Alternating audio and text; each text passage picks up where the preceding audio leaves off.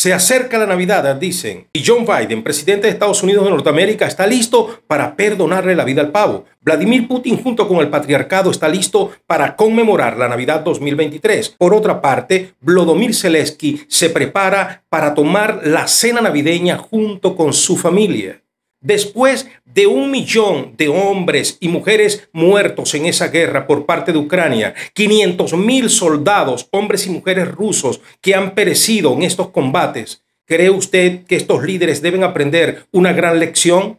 ¿Sabía usted que en las Sagradas Escrituras está el plan definitivo para detener esta guerra? Quédate con nosotros. A través de este estudio te vas a sorprender de datos importantes y verlo hasta el final porque es que definitivamente te vas a sorprender.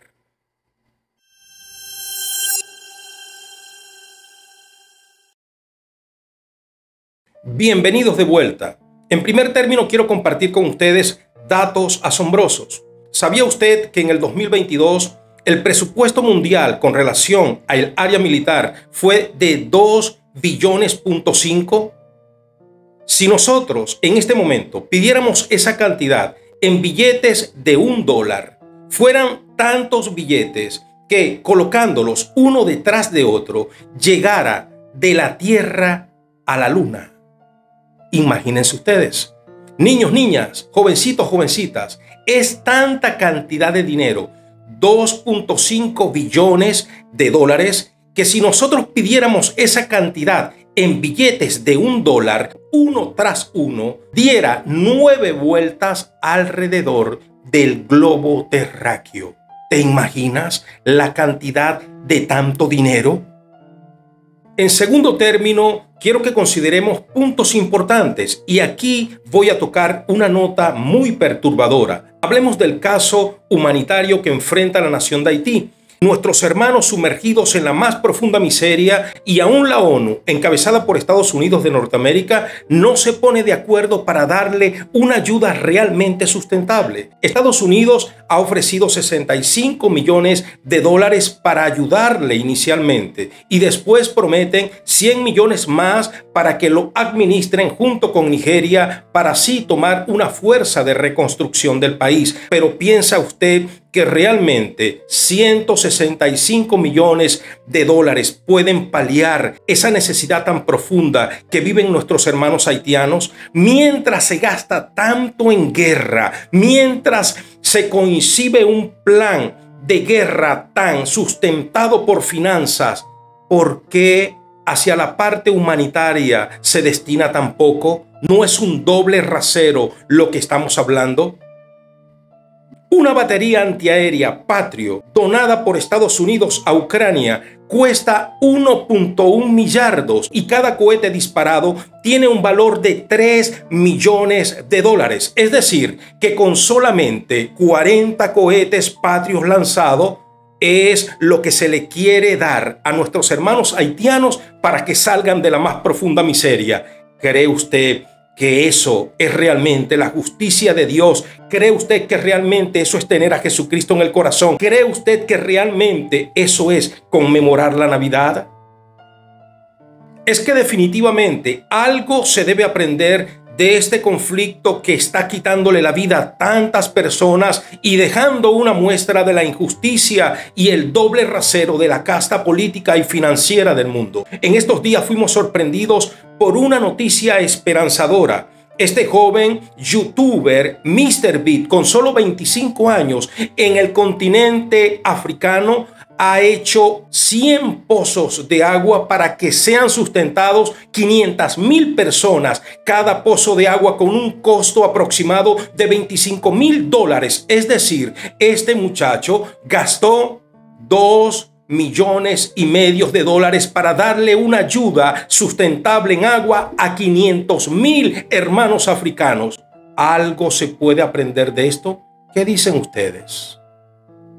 Ahora, con solo 25 años, un muchacho que no maneja muchas finanzas puede hacer algo. Ha ayudado escuelas, ha ayudado hospitales, ha sustentado niños, ha fortalecido a los jóvenes para que ingresen a la universidad y promete hacer puentes y carreteras para ayudar a nuestros hermanos que comercializan en los campos africanos.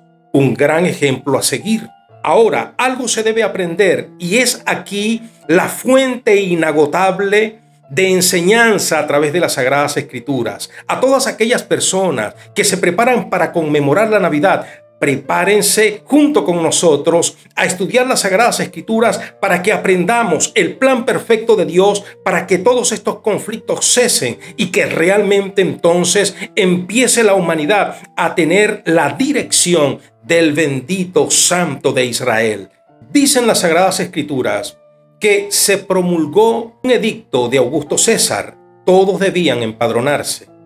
Y nuestros hermanos, José y María, ya entonces María encinta para dar a luz, fueron a Belén para así cumplir con la ley terrenal. Es muy importante que entendamos que en ese trayecto fueron dirigidos por Dios. Y dice entonces las Sagradas Escrituras que al llegar a Belén no se encontró posada donde ellos pudieran estar cómodos y tuvieron entonces que ir a un pesebre. Vino el momento del alumbramiento y nuestra hermana María trajo al Salvador del mundo. Y aquí hay un acontecimiento celestial importantísimo, porque dicen las Sagradas Escrituras para dejarnos testimonio que un ángel se les apareció a pastores estando en el campo. Y quiero enfatizar ahora en la bendita palabra del Señor en el capítulo 2 de Lucas, versículo 8 al 14. Por favor, lea conmigo y escuche y lea esta magistral enseñanza de parte de Dios. Habían pastores en la misma región que velaban y guardaban las vigilias de la noche sobre su rebaño. Y he aquí, se les presentó un ángel del Señor, y la gloria del Señor los rodeó de resplandor, y tuvieron gran temor. Pero el ángel les dijo, no temáis, porque aquí os doy nueva de gran gozo, que será para todo el pueblo, que os ha nacido hoy en la ciudad de David un Salvador, que es Cristo el Señor. Esto os servirá por señal. Hallaréis al niño envuelto en pañales, acostado en un pesebre. Y repentinamente apareció con el ángel una multitud de las huestes celestiales que alababan a Dios y decían, Gloria a Dios en las alturas y en la tierra paz y buena voluntad para con los hombres. Este mensaje definitivamente es liberador y aquí está la fórmula celestial para que los conflictos y las guerras en el mundo cesen realmente. Oído al tambor. Dicen las sagradas escrituras que el ángel se le apareció a los pastores en el campo y le dijo, no temáis, porque os doy nueva de gran gozo y esas buenas de gran gozo es que hoy os ha nacido en Belén el Cristo, el Señor del mundo, el gran Salvador de la humanidad. Hoy, muy importante que enfaticemos en el hoy. Hay personas que se preparan para conmemorar la Navidad el 25 de diciembre de una manera formal, pero se olvidan que es hoy lo importante, Cristo debe nacer hoy en cada corazón. El mañana no lo sabemos. Es el día de hoy donde debemos priorizar. Cristo quiere nacer hoy. Querido amigo, querida amiga, el Señor quiere nacer hoy en tu corazón. Hoy es el día de recibirle. Hoy es el día, como se dice, que Cristo es la Navidad del mundo. Hoy es el día de recibir al Cristo en tu vida para que realmente puedas disfrutar de una comunión con Dios y entender, querido hermano, querido amigo, querido líder del mundo, que Jesucristo está para ayudarte y para darte las luces suficientes para que hagas las cosas correctamente conforme está escrito en las Sagradas Escrituras. No hay evidencia, no hay certitud en las Sagradas Escrituras que Jesucristo haya nacido el 25 de diciembre. Esto es mera religión y meras costumbres de un mundo que definitivamente no le ha amanecido. Ahora, cuando nosotros oímos el mensaje liberador que viene del ángel ser celestial, Él nos dice, hoy os ha nacido el Cristo, el Señor, el Salvador del mundo. Pero mientras el ángel daba detalles que lo iban a conseguir en el pesebre envuelto en pañales, dicen las sagradas escrituras que una comitiva celestial, huestes celestiales, rodearon aquel maravilloso escenario y empezaron a decir, gloria a Dios en las alturas y en la tierra paz para los hombres de buena voluntad. Y quiero que aquí hagamos un inciso importante, porque la palabra gloria viene del término griego dosa, Dios, organización, X, amor, y denota, glorifícalo, honralo con toda tu vida. Los ángeles decían, gloria, dosa, honralo porque el primer mandamiento, el más grande mandamiento es este. Amarás a tu Dios con todo tu corazón, con toda tu mente y con todas tus fuerzas. Maravilloso. Debes honrarle, querido hermano. Debes honrarle, querida hermana. Amigo, amiga, líder del mundo. Glorifica realmente a Dios con cada paso que das. En cada rol que desempeñas, glorifica a tu Señor pero dice, gloria a Dios en las alturas. Y el término altura viene del griego hupsistos, que denota el más alto, el más sublime.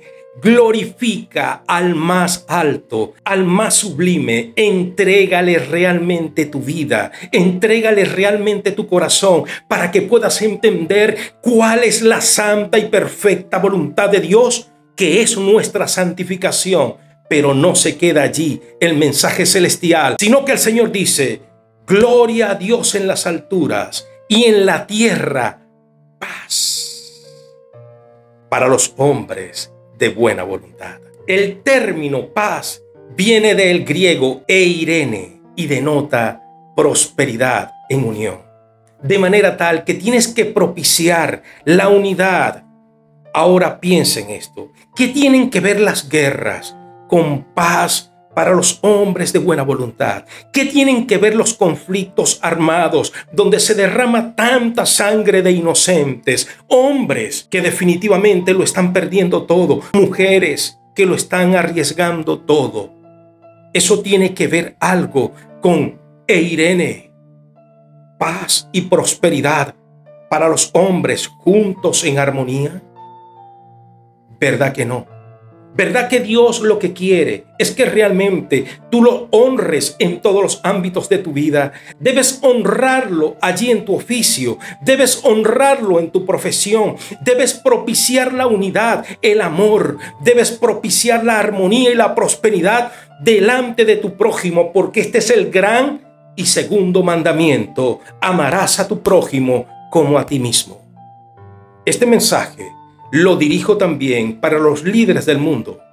Sé que son muy importantes y quizás no tengan el tiempo para oír mis palabras altisonantes, pero si por alguna razón les llegase, quiero dirigirme con mucho respeto. Es el momento de honrar realmente a Dios. Si tú dices que eres cristiano, si tú dices realmente que tienes al Salvador del mundo, da prueba fehaciente que Jesucristo vive en tu vida y empieza a abonar para lo correcto. Empieza a ser realmente un hijo de Dios. No esperes el 25 de diciembre para conmemorar la Navidad. La Navidad nace hoy en tu corazón cuando decides hacer lo correcto, cuando decides hacer conforme al propósito divino, cuando permites que Jesucristo entre en tu corazón y operes conforme a su voluntad.